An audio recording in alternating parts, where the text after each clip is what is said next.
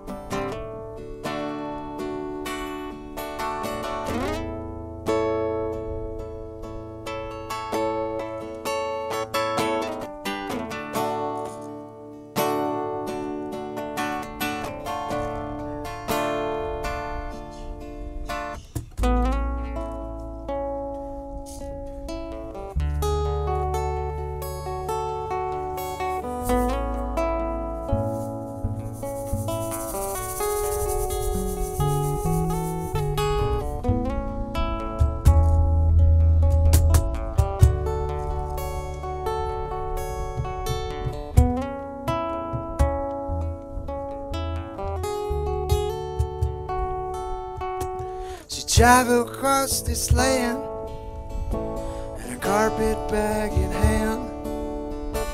She don't take no shit from nobody. And when the people ask her why, they look up to the sky. She'll show them it's always She's the daughter of Zeus. She'll come for you, Miss Muselle.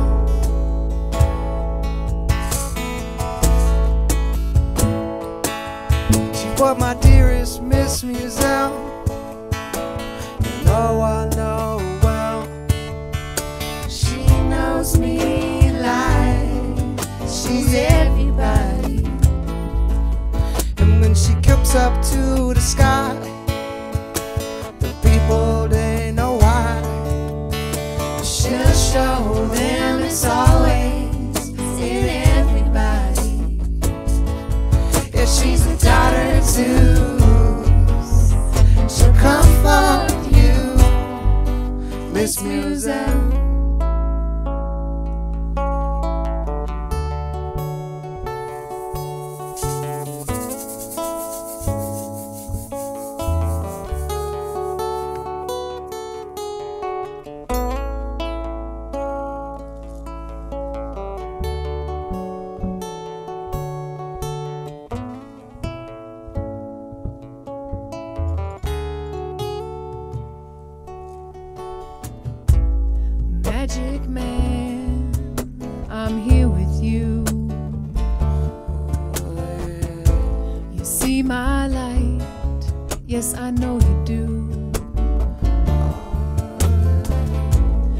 when you wake me in the morning with the sweet sound of your words.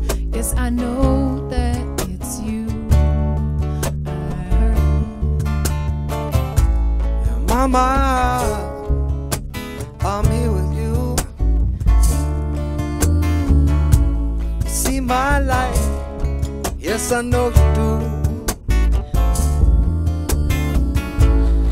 When you wake me in the morning with the sweet sound of your bird, yes, I know that it's you. I heard we be singing.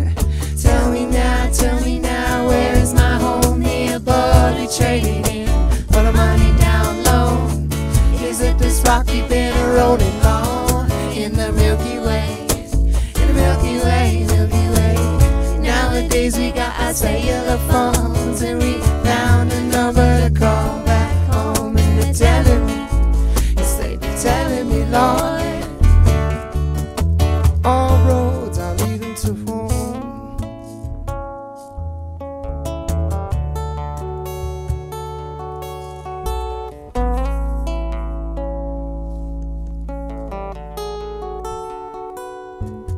That's when the earth seemed to call me back again. Yeah, back to the time when she was just a friend.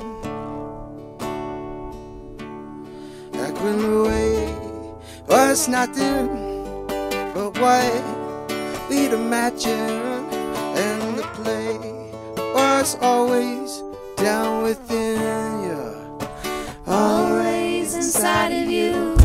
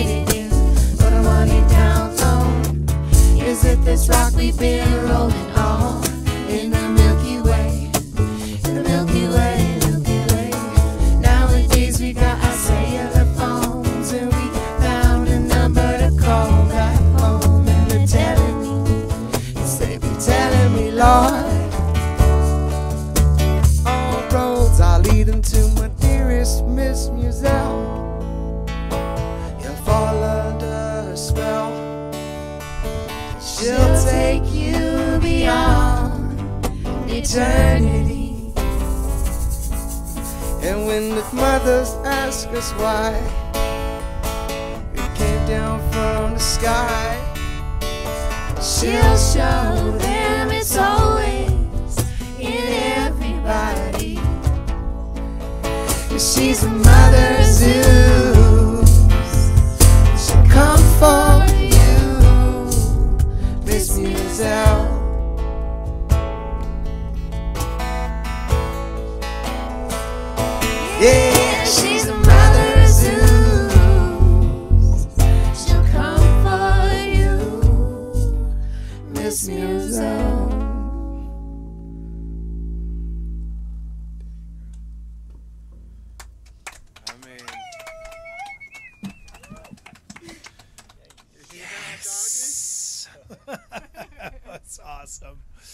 So, Mountain Tribe is who we had here up at the top of uh, East something or other Canyon, East Canyon. We're found ourselves on a chunk of earth right here, and it's pretty darn magical. That, my friends, I got to thank you.